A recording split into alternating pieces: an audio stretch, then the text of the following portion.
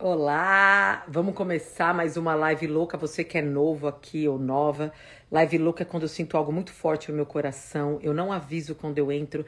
Não precisa se preocupar se você não pode assistir agora, assiste depois, encaminha para quem você sente. É quando eu sinto uma mensagem realmente de Deus que toca o meu coração para uma pessoa dessa tribo. Se você achar que essa mensagem não é para você, não veio de Deus, desencana, continua o seu dia. Mas se você sentir que é para você, abraça, receba e vive essa palavra. Eu vou falar para você que Deus está te convidando, Ele te escolheu para ser uma voz revolucionária, principalmente no ano de 2022. Deus quer usar você para trazer algo novo para o mundo. Eu não sei se é um livro, eu não sei se é um Instagram, eu não sei se é um negócio que Deus vai manifestar a, a, vontade dele, mas ele tá te pedindo para fazer algo.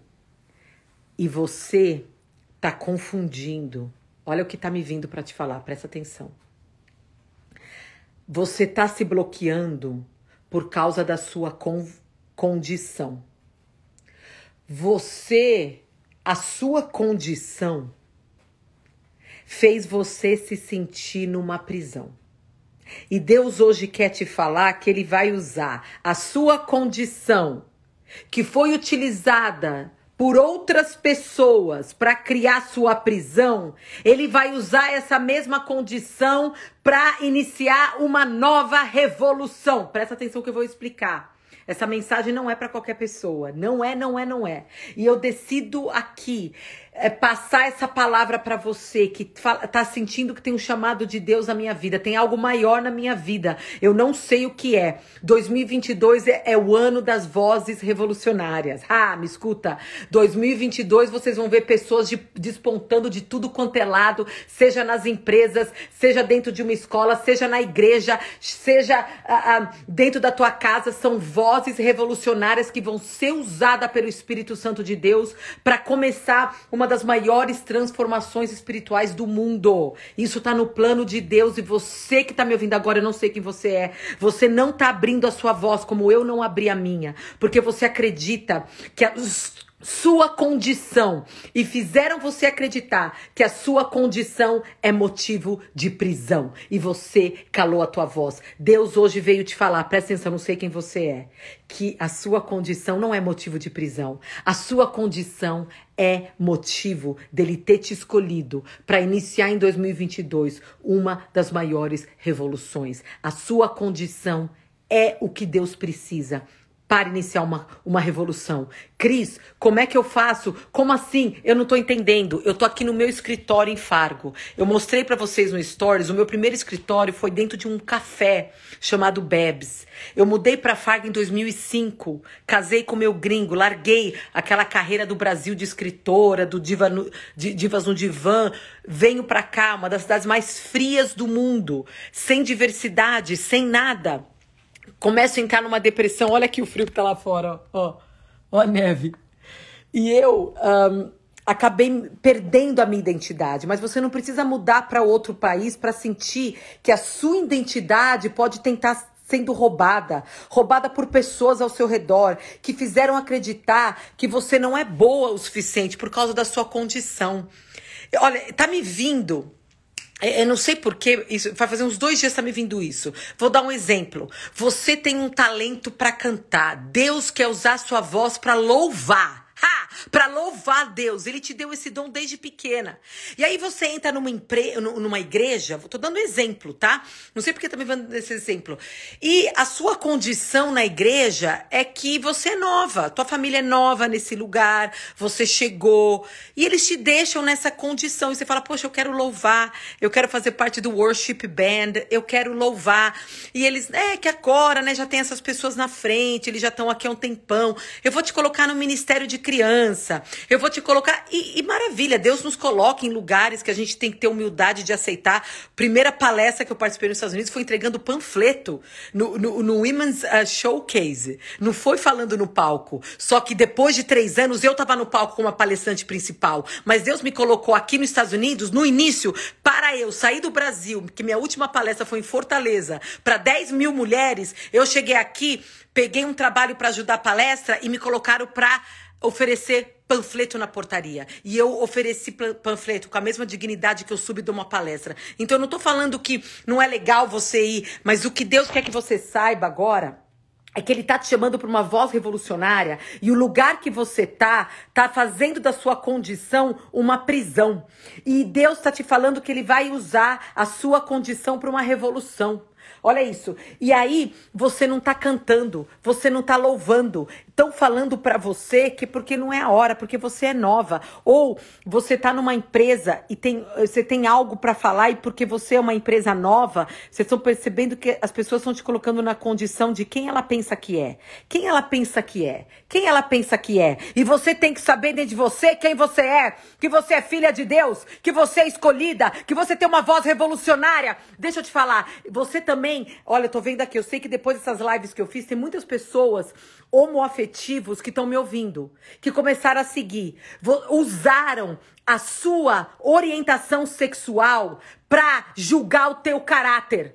E a sua orientação sexual não define o seu caráter, não define quem você é diante dos olhos de Deus, mas fizeram você acreditar. E você tem sonhos. Deus colocou um ministério evangelista para você começar. Eu vejo até uma pessoa que Deus colocou no teu coração para você ajudar mães. E você fala para Deus: "Deus, mas eu sou homoafetiva. As mães vão gostar de mim, mesmo eu sendo mãe, mas eu sou uma mãe homoafetiva. Eu vim te falar agora para você parar com essa mentira, tirar você dessa prisão porque Deus escolheu você para esse ministério porque você é homoafetiva. Você tá entendendo o que eu quero, a mensagem que eu quero falar para você? Eu não sei quem você é. Me escuta, a sua condição é o que Deus escolheu para iniciar uma revolução. Porque olha, quando eu cheguei aqui nos Estados Unidos, antes de ter esse escritório aqui cheia de voluntária, tem uma ONG, eu cheguei aqui, eu comecei a ter várias condições. Eu não era mais best-seller, eu não era condição, é a qualidade que a gente tem. Eu comecei a ser vista como um, uma latina, uma imigrante, é, uma pessoa que fala inglês não muito bem, porque. E eu comecei a aceitar essas condições como prisão. Eu tinha, eu comecei a ter vergonha. Você, você que leu meu livro Doidas no Divã, que eu não sei o que está acontecendo, tá um mover do livro tocando as pessoas de forma sobrenatural, e eu agradeço a Deus, porque eu lembro que até para escrever o livro, eu falava, quem sou eu? Quem sou eu? E eu falava, Deus, eu tento fazer parte de ONGs nos Estados Unidos, eu tento fazer parte, e parece que eu, eu não entendia do racismo velado nos Estados Unidos. Hoje eu entendo, eu posso dar aula sobre isso. Eu fui convidada para dar um evento para 450 donos de ONG, para falar minha experiência com racismo. Então, assim, eu estudei muito sobre isso, mas eu não entendia quando eu chegava aqui que pessoas não me convidavam porque eu era latina. E eles não estavam acostumados com isso. Aquilo que não é familiar, as pessoas se incomodam. Aquilo que não é familiar, as pessoas vão se incomodar. E eu queria mudar, Deus, porque eu não sou americana. Seria mais fácil se eu fosse americana.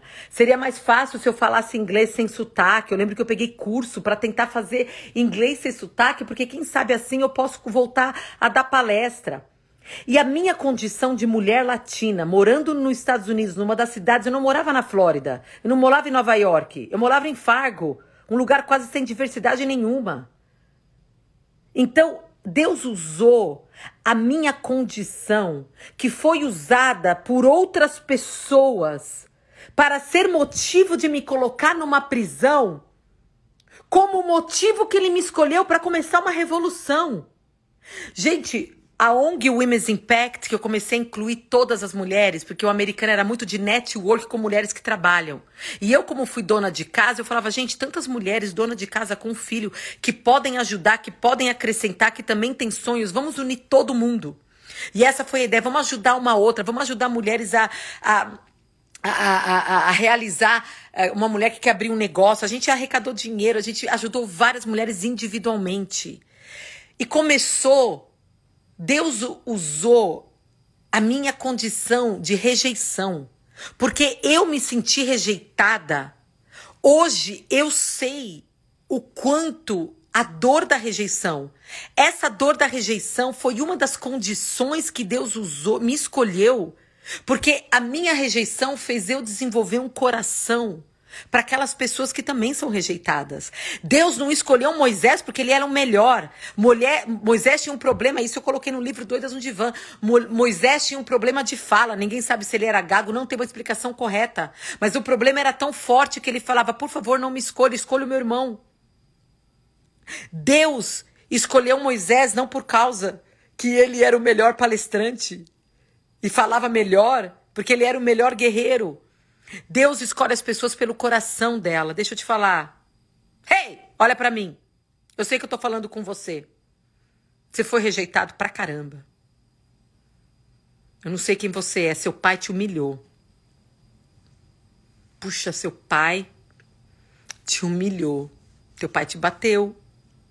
Teu pai nunca aceitou quem você é. Eu não sei quem você é, mas isso é para você.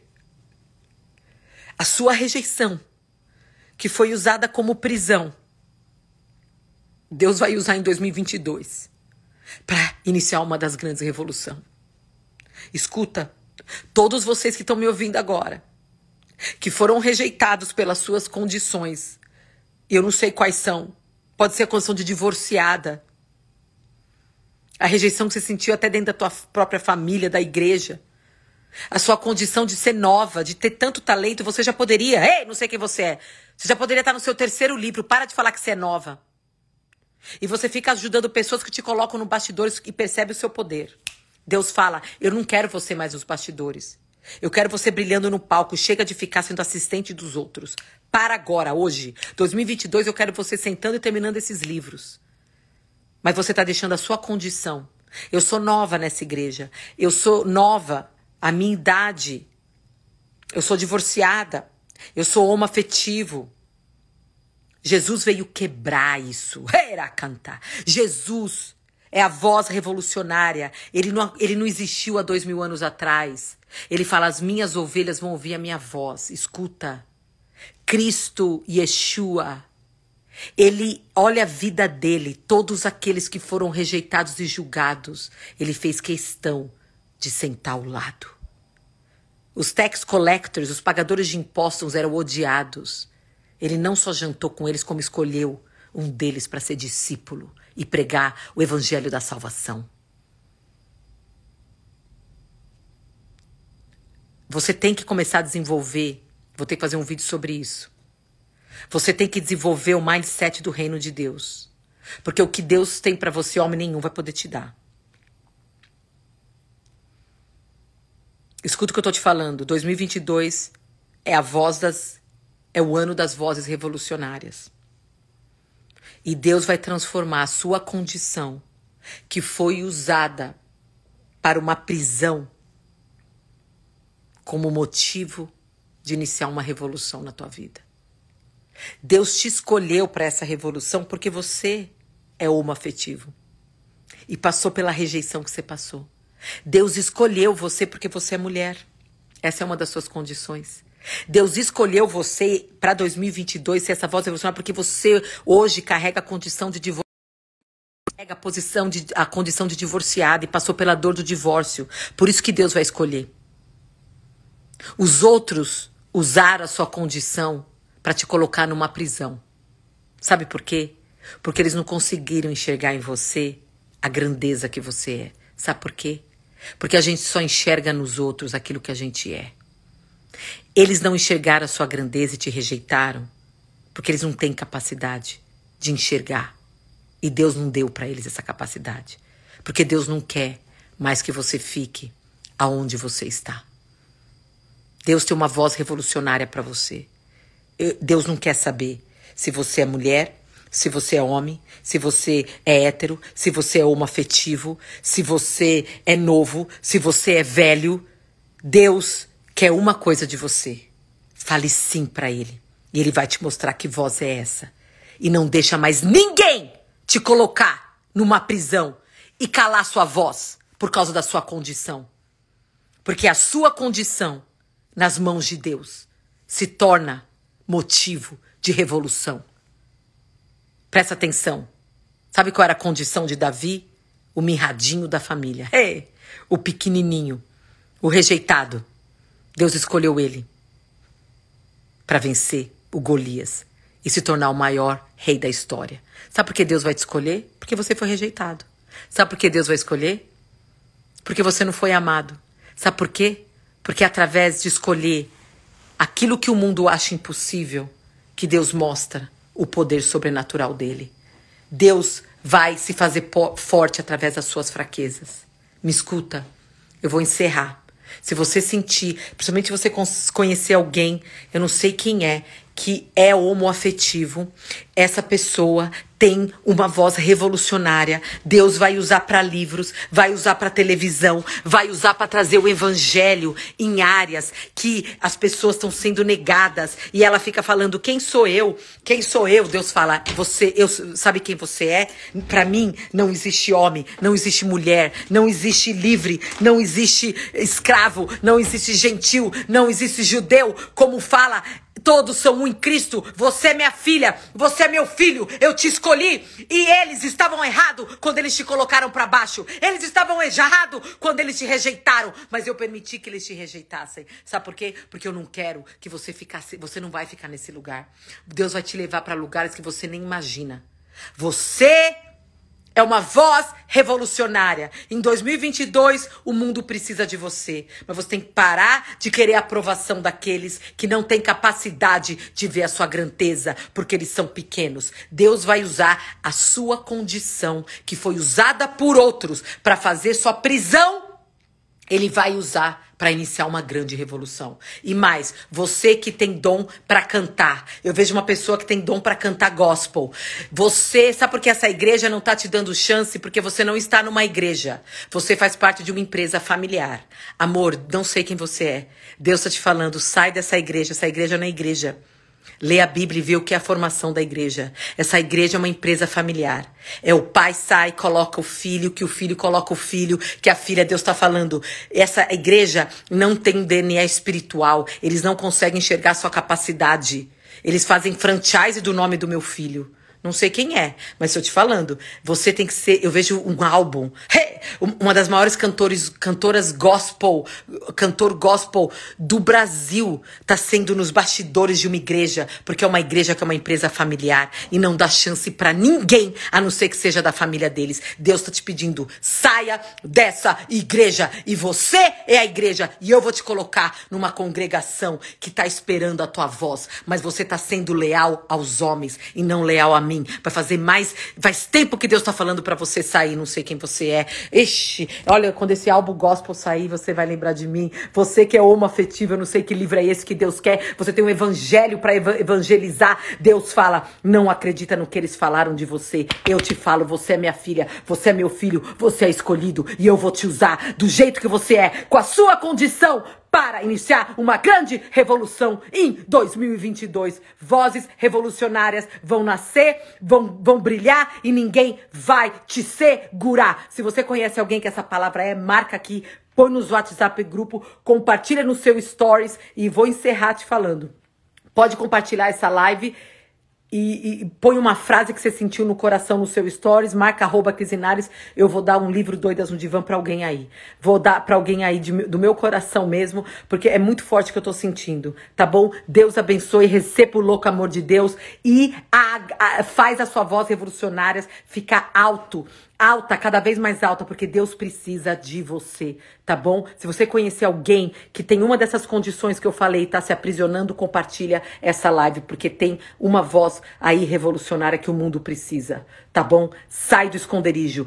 Sai do esconderijo. Eu sei o que é se barrar. Eu nos Estados Unidos eu fiquei calada. Eu ficava com medo de falar porque quem sou eu? O meu inglês não é bom. Quem sou eu? Eu sou uma latina e Deus me escolheu porque eu era uma latina. Porque o meu inglês não era muito bom. Eu toquei coração de pessoas que, assim como eu, não, tinha sotaque falaram: hoje eu falo, Cris. Hoje eu abri essa ONG, porque eu lembro quando você tava na minha. Eu tava na high school, você falou, e eu falei: se ela pode, eu também posso. Tá? A sua vida vai ser testemunho para outras pessoas. Mas abre a sua boca e não acredita mais em ninguém que coloca você para baixo. Tá bom? Em nome de Yeshua, receba essa palavra e o louco amor de Deus. Tchau.